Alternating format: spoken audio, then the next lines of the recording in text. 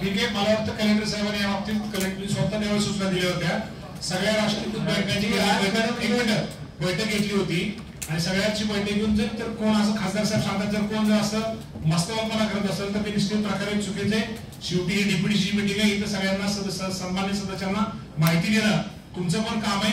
आणि कुठलं कोण हे करत त्यानं तुम्ही कलेक्टरला किंवा आम्हाला त्याप्रमाणे रिपोर्टिंग करा पाहिजे. आणि मामा मी काय करतो हे म्हणते ना उद्दिष्ट साध्य केलंय इथं सांगायला एकशे अकरा टक्के हे बँक वाईज सांगते मी तुम्हाला बार्शीच्या बार्शीतल्या प्रत्येक ब्रांच वाईजचं टार्गेट आणि किती अचीव केलं ते मी तुम्हाला पत्र देऊन सांगतो काय आहे. जर एलडीओला नसेल मला माहिती आहे ठीक आहे? नोंद घ्या आणि सिरियस नोंद घ्या. आणि पुढच्या वेळेस येताना तुम्ही अभ्यास करून या इथं. माहिती घेऊन या सगळी. मामा. मामा माझं एक दुसरा मामा बार्शी मध्ये सुद्धा सन्मान्य आमदार साहेबांनी मुद्दा मांडला होता की पाऊस झाला. मग आपण जिल्हाधिकारी महोदयांनी पंचनामे करायचे आदेश दिलेत. जिल्हाधिकारी महोदय ज्या महसूल मंडळामध्ये अतिवृष्टी झाली त्या महसूल मंडळामध्ये आपण पंचनामे करताय बरोबर आहे.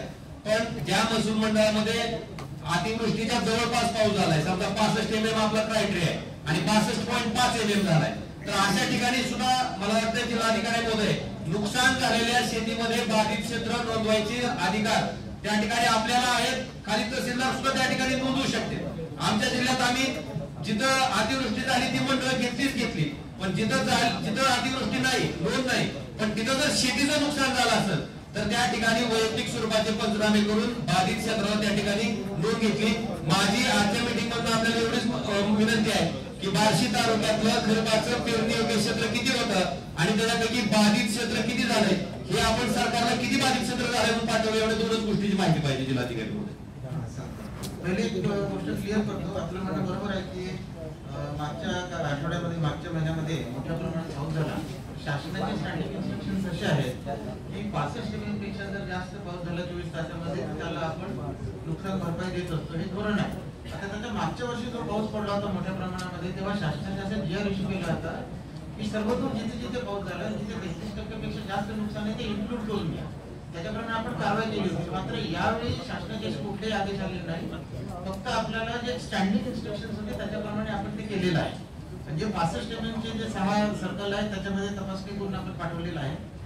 जिल्ह्यामध्ये एकूण जिल्हाधिकारी महोदय थोडे इंटरप्ट करतो. आपल्याला नदी जिथून वाहते एखादा नाला जिथून राहतो वडा वाहतो त्या वडाला जर जास्तीचं पाणी दुसऱ्या महसूल मंडळातलं त्या ठिकाणी गेलं असेल. आणि नदीच्या काठचं क्षेत्र जर बाधित झालं असेल तर तिथं आपल्याला हा क्रायटेरिया लावायची गरज नाही. आपण ते क्षेत्र बाधित क्षेत्र म्हणून घेऊ शकतो.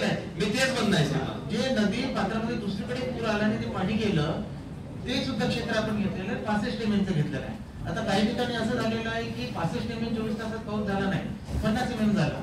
पुन्हा दुसऱ्या दिवशी पन्नास एम झाला. तिसऱ्या दिवशी पन्नास एम झाला. ते आपल्या त्या शासनाच्या जी आरमध्ये मोडत नाही. हे इन्शुरन्समध्ये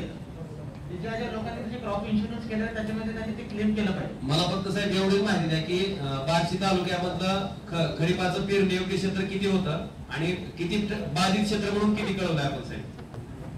बाधित क्षेत्र जे आहे एकूण कळवलेलं आहे बेचाळीस हजार एकशे अठ्ठ्याऐंशी.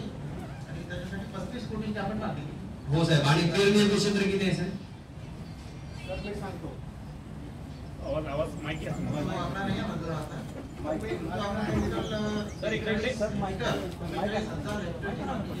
इकडे सांगतो म्हणतायत. जिल्हा कृषी अधीक्षक आहेत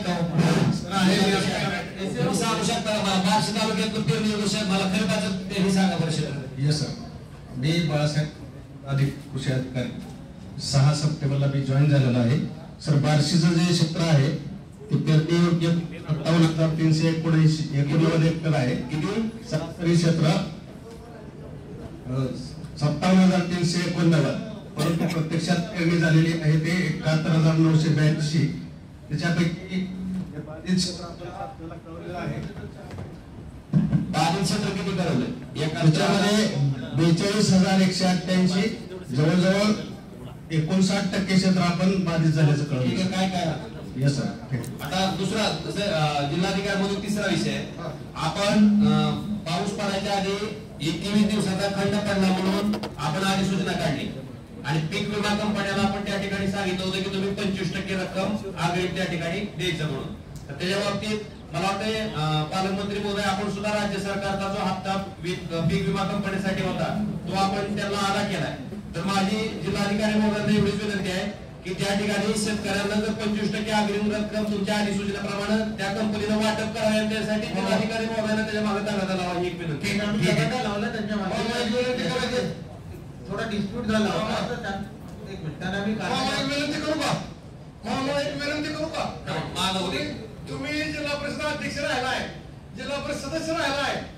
सगळं हाताने निधी द्या. हो. हात घेऊ नका. हात सरळ हाताने.